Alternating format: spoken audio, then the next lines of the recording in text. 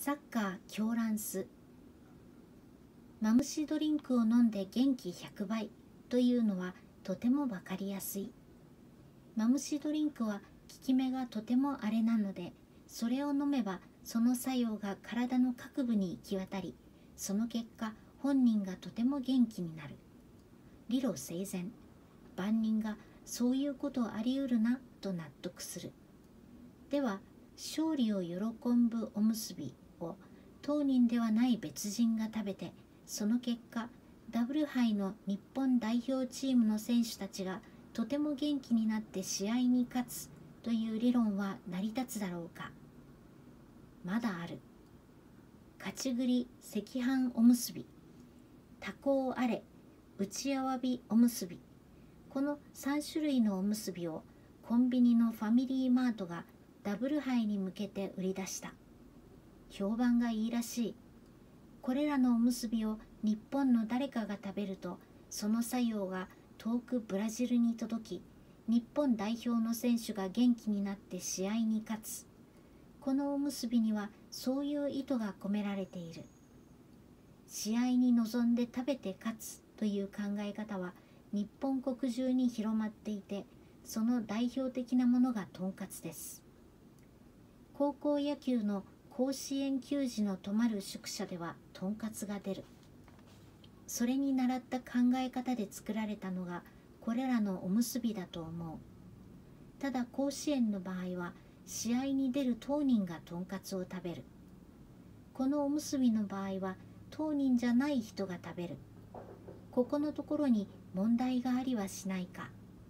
いやいやだからねそういうことではなくてですね思いを込めるとか念じて食べるとかそういうことでしょ？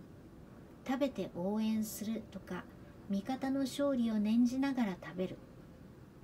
いやいやそんなことは分かっています。せめてということでしょ？せめてこんなことでもして自分の気持ちを伝えたい。そういうことでしょ？日本には昔からお百度参りとか水ごりとか好きな食べ物を断つとかの応援の仕方があった。親の病気を治したい一心で神社仏閣をぐるぐる100回回る。真冬に夫の出世を願いながら冷たい水を何回も浴びる。食べたいものを我慢して食べないことによって友人の悲願達成に協力する。片っぽは食べないで応援する。片っぽは食べちゃう。おむすびを食べちゃう。僕としては我慢して食べない方が気持ちとしての純粋性は高いと思うな。応援の密度も濃いと思うな。だって例えばですよ。さっきのお百度参り。神社仏閣の周りをおむすびを食べながら回っているところを想像してください。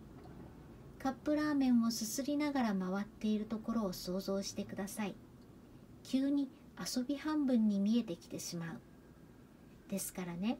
そういう時こそさっきの勝利を喜ぶおむすびや勝ち栗赤飯おむすびや多幸あれ内あわびおむすびが有効になるんじゃないですか。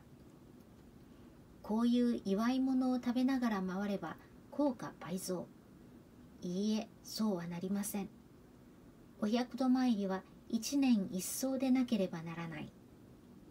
例えば多幸あれ内あわびおむすびを食べながらお百度参りをしているとします。このおむすびはだしで炊いたご飯に醤油だしで煮たあわびとタコが入っている。お今歯に当たったのはアワビじゃないか。うんアワビなんて何年ぶりだろう。うんタコもなかなかうまく煮てあるじゃないか。邪念が入って一年一層どころではなくなる。こういうニュースもあった。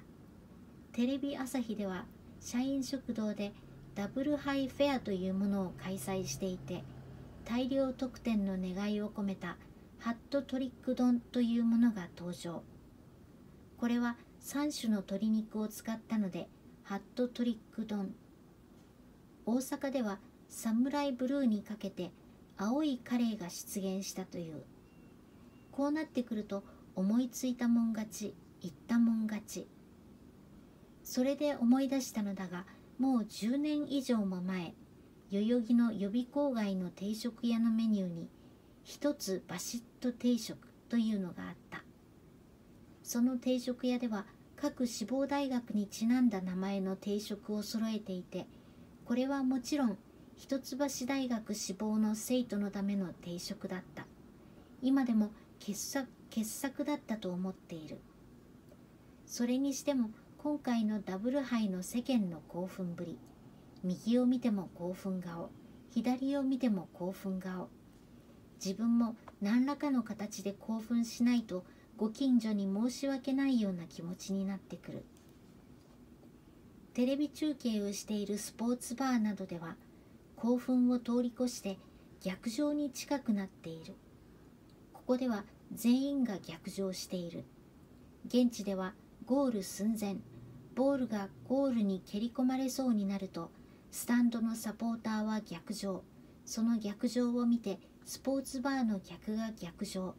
逆上した友人を見て逆上。逆上ごっこのごとき様相を呈する。店内は逆上なき者はされの状態になる。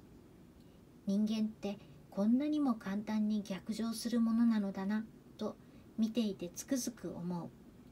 この狂乱のブームもダブル杯終了と同時に去ってゆく。去る者は追わず蹴る者は追わず。